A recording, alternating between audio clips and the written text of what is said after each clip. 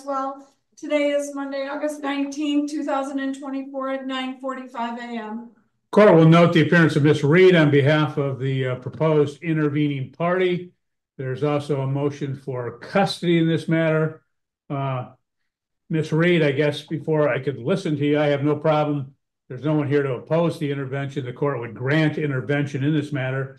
But as you are well aware, in these particular cases, pursuant to MCL 722.27B, the court has to make factual findings as it relates to, uh, again, those factors under the statute in this matter. So uh, what we'll do is the court will uh, set this matter for an evidentiary hearing to address, again, the factors under that statute which would rebut the uh, fit parent presumption. Well, this is not a grandparenting time case, Your Honor. This is a custody case by a guardian.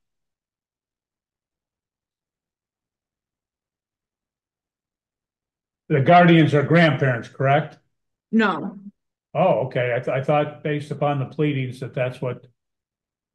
The, the guardian is the deceased father's significant other, and she was just recently granted guardianship of the child.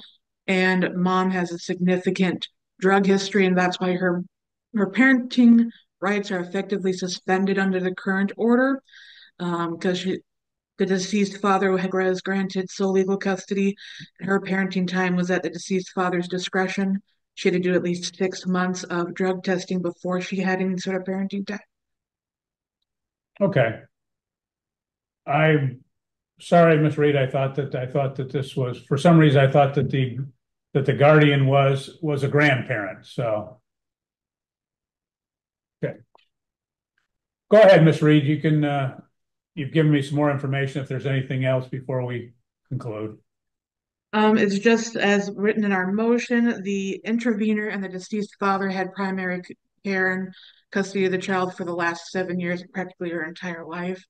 Um, the defendant mother hasn't had any contact with the child in the last seven years. It's the best of our knowledge.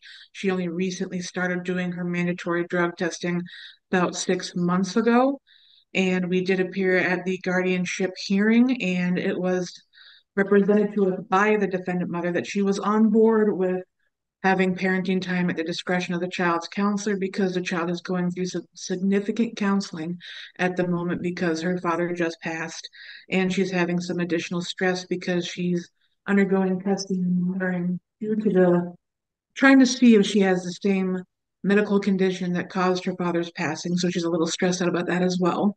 And it's going to take some time to reestablish that relationship between the defendant mother and this child because this child has no idea who this mom is. She knows her name, and that's about it. So we're requesting that the intervener be granted sole legal custody and parenting time to defendant mother at the recommendation of the child's counselor.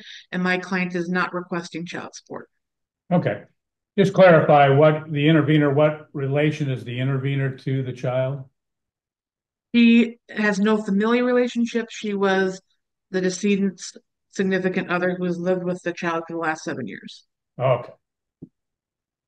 Well, what the court will do in this matter is at least obviously the, the intervener is the uh, guardian of the child. And obviously, based upon the facts, the child has been there for a substantial number of years without any involvement of the uh, defendant in this uh, particular case, the court will grant the temporary care to the intervener in this particular matter. And at some point, uh, we'll leave that in place. And uh, I guess at this point, Ms. Reed, I'll leave it up to you after a period of time if we wish, we think you need to have a uh, evidentiary hearing. I, don't know what obviously is going to take place as it relates to any of the other proceedings that have been involved in this matter. So we'll put that in place now, and then you have a right to proceed either for entry of a um, of a full order at some later time, or we can modify it based upon whatever happens as it relates to parenting time. So for language of the order, she's having sole legal, temporary sole legal custody? Temporary, yes, yep. and physical custody and for parenting time is reserved? Yes, Okay, and then that way mother can come in and seek, uh, seek parenting time, and we'll have a chance to review any, uh, conditions or anything that need to be done in that regard. all right. Okay? You can prepare that, submit under seven day. Thank you. Thank you. Have a good day.